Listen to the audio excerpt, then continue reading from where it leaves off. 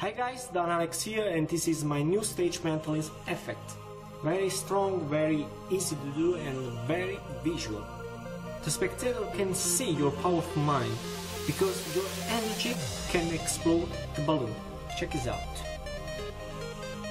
Okay, I have a new pack of balloon. The spectator can choose any balloon is want. For example, I take uh, orange balloon. Okay. Now I blow in.